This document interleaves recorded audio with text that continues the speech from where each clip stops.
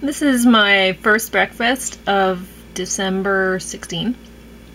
And um, it's purple cabbage mixed with ginger and uh, some lemon. About um, almost half a lemon fit in here. Most of it is purple cabbage. And then about a thumb size of ginger. Um, yesterday I made it with like the purple cabbage with um, pink grapefruit. And I thought for sure that that's what made the pink. But the lemon even makes it pink when I put it in. So, no. But it's beautiful anyway. Unfortunately, it doesn't taste beautiful. But, um, let's see. I'll put, like, I'll drink a little bit of it. It's going to be bad. Oh, so bad. Oh, yeah, that's so terrible.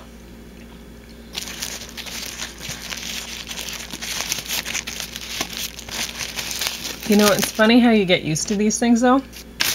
Like, for the first time I drank the cabbage juice, like I don't always drink purple cabbage. It could be Brussels sprout or kale or whatever in the morning.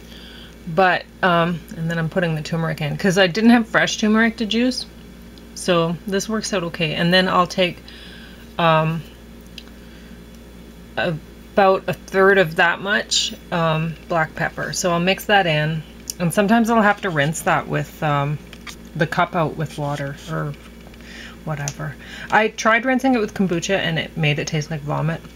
Um, so I definitely don't recommend that. Like I, I take the kombucha at the same time because I try to take a probiotic source with every meal, um, especially while doing this detox. And I talked it over with James, and I'm still going to continue to do the detox until the 17th because then it's a full month of